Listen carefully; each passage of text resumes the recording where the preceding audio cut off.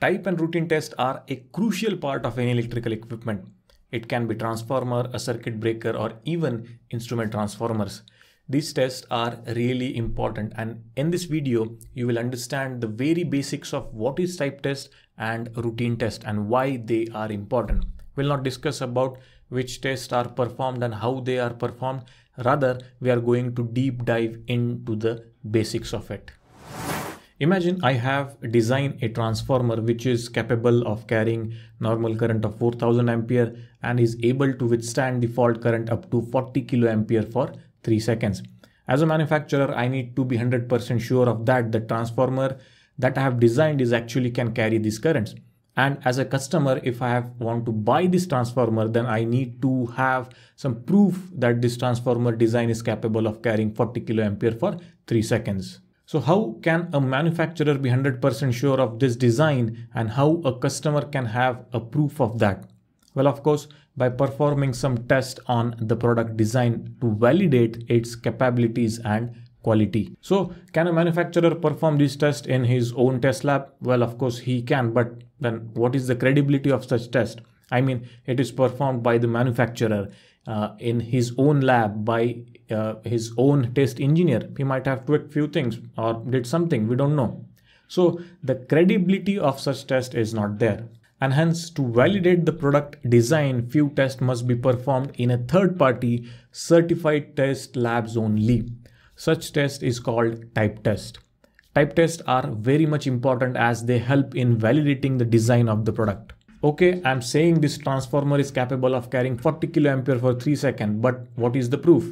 In such case, tests performed at the third party certified labs offer this proof. This gives the confidence to the manufacturer and also to the customer about the product design.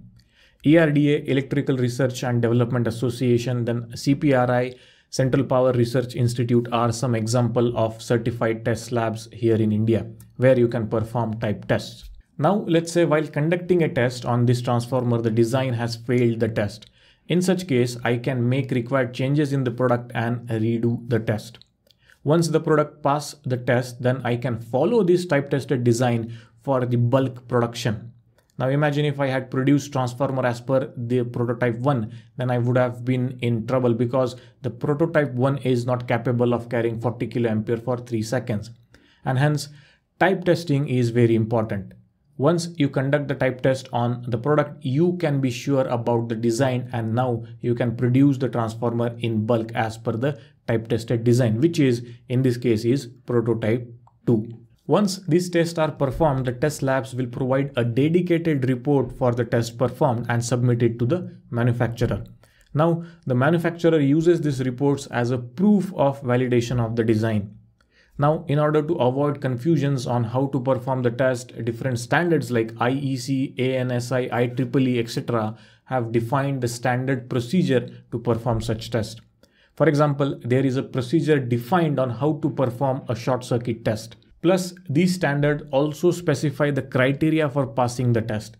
If that criteria is met, then only the product is said to pass the type test and this result will be mentioned on the test report as well and this report can be then presented to customer for his validation type tests are not performed on all the products that are manufactured it is only performed on a new design or on a design in which major modifications are done it is also not possible to perform such tests on all the products that are manufactured because these tests cost huge money. And some tests are destructive in nature, meaning during the test, the product will be damaged and cannot be used later on. So performing such test on each product uh, is not possible.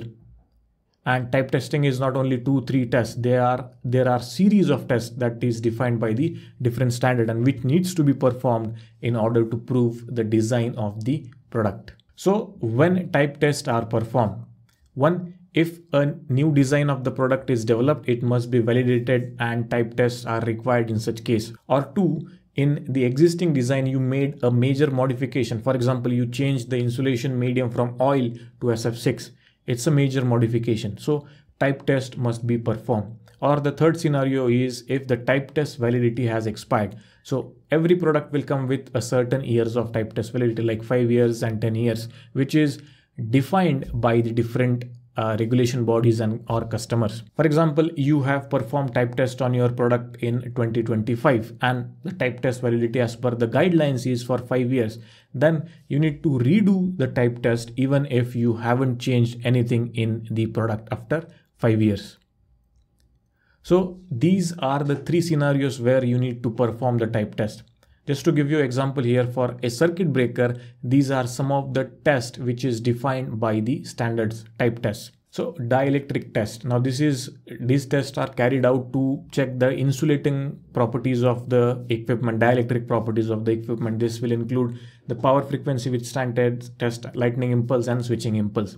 Then we also have temperature rise test. Now it checks whether the temperature of the product is going to a very high value or what in a general operating conditions. Then we have mechanical operations test which will test uh, if, if there is any wear and tear that is happening during the mechanical operations that we are performing. Then we have short circuit current making and breaking test where in which the circuit breaker will be tested whether the rated short circuit current it can carry for the defined period of the time or not or also it can break that current or not that all the things will be checked under this type test. So these are some of the examples of type tests. So like for all the equipments every standard have defined some set of type test and those type tests needs to be performed in order to prove the capabilities of the product the quality of the product. Now, once these reports are performed, the lab in which you perform the test, they will per, uh, give you a report. Now, that report will have all the details like which test is performed, how it is performed, as per which standard it is performed, and what is the result of that particular test. Whether the equipment passed the test or failed the test, every detail will be mentioned on the type test report that will be provided by the test lab. So that is about the type test.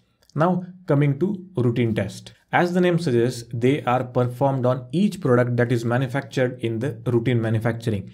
These tests are not meant to validate the product design. The aim of routine test is to check manufacturing quality of the product. These tests are not destructive in nature. Again, different standards have defined the procedure that needs to be followed while performing the routine test as well. Once all the routine tests are performed, manufacturer can also issue a routine test report to customer for his validation. Many times customer can also witness the routine tests. Again, continuing with our example of circuit breaker, here are some of the routine tests defined by the standards. So again, we have here dielectric test, which will be performed as a routine test as well and as a type test as well. Then you can see measurement of resistance of the main circuit. So resistance will be measured for the main circuit then we also have design and visual checks, part of routine test again, and the mechanical operation test. Again, few operations will be performed and the quality of the product will be checked. And then if the breaker is SF6 gas field, then the leakage test will also be conducted on that circuit breaker. Right. So these are some of the examples of the routine test which are defined by the different standards. Right. Understood. So that is all about the basics of what is type test and what is routine test and why they are necessary. If you found the video helpful, then do comment helpful in the comment section. In that way, I'll get to know that this type of content is helping you. And if you are interested to learn more about switchgear, then I have dedicated playlist created for switchgear. I'll give link for those playlists down in the description. You can go and check it out for more such information. So that's all for this video guys. Thank you so much for watching and I'll see you in my next one. But till then, keep watching, keep learning.